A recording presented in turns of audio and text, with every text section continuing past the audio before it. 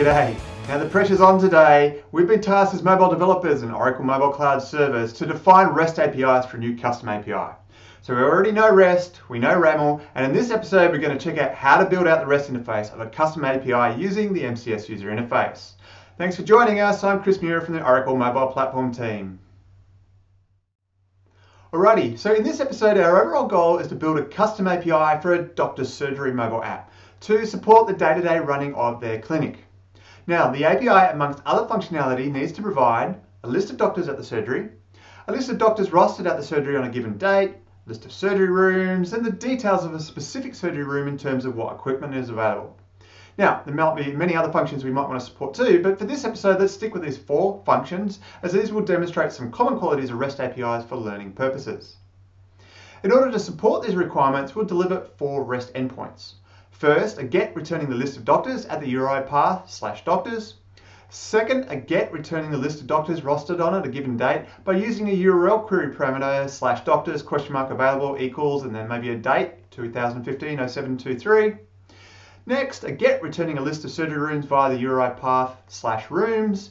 And finally, a nested get under the URI path rooms, which will set the room's name as a parameter in the URI, such as slash room slash room name, and return an equipment list and other room details that we require. Now, it just so happens we've already created a RAML file to describe these APIs. Now, it's not 100% fleshed out, but it gives the basic structure we want to support.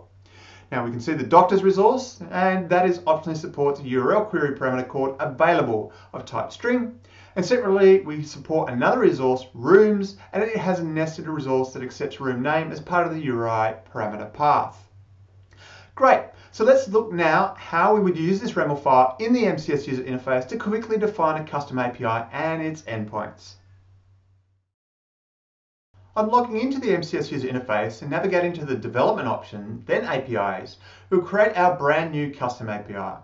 We'll call it Doctor Surgery API with the same API name and give it a description. At the bottom you can see here we have the opportunity to supply our RAML file and when done, you will see a successfully uploaded message.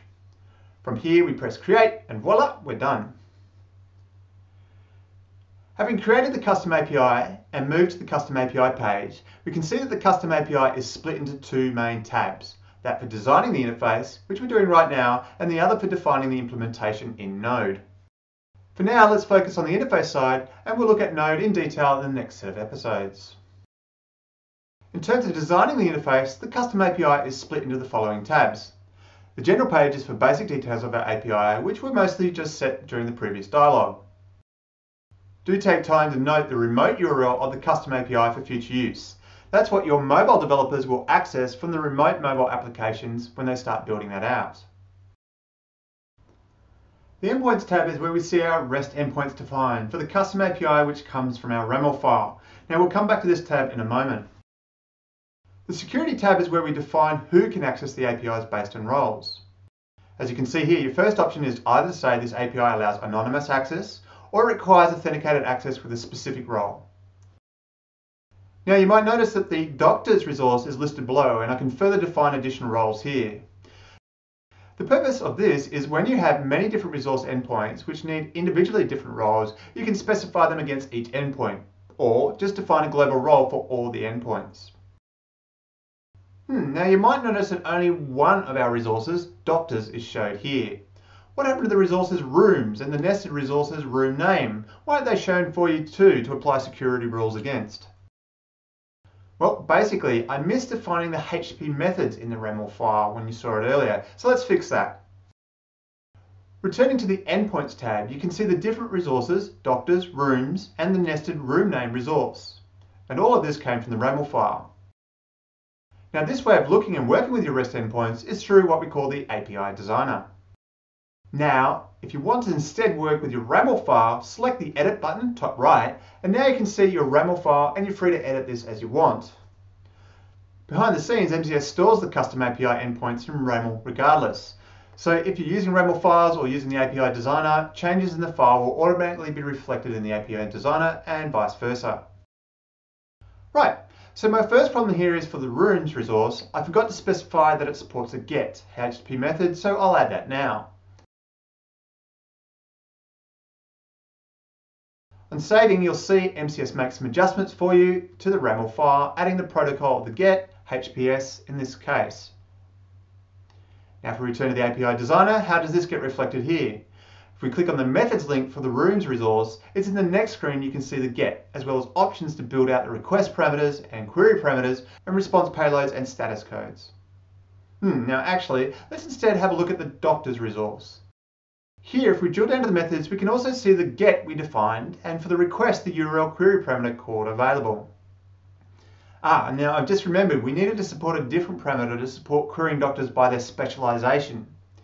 To do this, we select the Add Parameter button, define that we're using a query parameter over a HTTP header parameter. We give the parameter a name and description, we'll use specialization, a type of string, and we want to leave it optional. Oh, and we'll add an example of cardiologist. We now save this and switch back to the RAML file, we can see under the doctor's resource the additional specialization query parameter. Again, you can see how the API designer and RAML file are kept in sync. Returning to the API designer, if we select the security tab, we can now see our rooms resource has been added. Hmm, but we're missing the nested room name resource, so we need to fix that too. In the endpoints tab, we can see the room name resource and it is indented under the room resource. If you want to create additional nested resources, rather than selecting the new resource button at top, which creates parent level resources, you can click the plus button against the parent resource you've already created, so you can create a nested resource underneath it. Now you'll notice something special about the room name, that it's surrounded by ellipse brackets. This means the room name is a variable and will be supplied by the caller at runtime as part of the URI, and we may expect something like a value like ECG room. Now like previous, we can drill down on the room name by the methods link, and at the top of the next page we can see the room name URI parameter specified, and in this case the URI parameter is required. Like other parameters, you can supply an example like the ECG room. Now as previous, the missing part here is that we need to say what method this resource supports. So we select add methods and select get in this case. The user interface then allows you to define further characteristics about the expected requests and responses. Now for the response, how about we define some possible outcomes such as 200 success, and then the payload return will be a media type of application JSON, and hey, we can even give an example payload like the following. Room name, ECG room, capacity, uh, 1, and so on. Having saved these changes, if we now return to the security tab, we can see the nested room name resource listed. So it was the HTTP methods missing that stopped us from applying the security rules. But you know what? For this particular API, we just wanted to make it anonymous regardless. So in this case, I'll flick this option over, and now we have no role requirements at all to call this API. To round off the facilities available to you at the API designer level, you remember from our previous video on RAML that RAML supports schemas, traits, and resource types, and you can use these in your endpoints too. As you can guess, you can load each of these here and then reference them from your endpoints, just like we saw in the previous RAML examples. Now before completing your work here, it's worth noting that the API provides a test facility too. If we click on the test button, we're presented with a list of all the endpoints we defined. If we click on one like, say, the doctor's resource, the user interface will inspect the metadata for the endpoint and automatically show you the parameters you need to supply. And in this case, we define the parameters available and specialization. So I'll enter cardiologist for specialization. You'll also notice the authentication options. First, we must select the mobile backend and version. A custom API is always executed in context of one of these, but we just haven't set the relationships up yet. So we arbitrarily select any mobile backend and version. If the API requires a specific role, we also would need to specify a mobile username and password here with the appropriate role. But as we saw earlier, with the relaxed security constraint on this API to allow anonymous access, we can skip entering the username and password. Next, we hit the test endpoint button, and as a result, we can see a request being raised to the API and a response of 200 with no body. Now, this is effectively a mock test, though it is a shame we can't see any real dummy payload. If we instead go down to the room name nested resource and enter the ECG room as a URI parameter, select the mobile backend and version and hit the test endpoint button, here we can see in the response not only a 200 success, but the dummy payload we defined as an example back in the endpoint. Overall, the test facility in the API Designer allows you, the developer, to test your APIs as you build them, returning mock data. And once the API is exposed through an API, you can perform remote tests from mobile applications too, again with this mock data. Oh, and this of course reminds me, the last thing we need to do to make this API available to the outside world is to define a mobile backend. And once done, select the API from the APIs tab.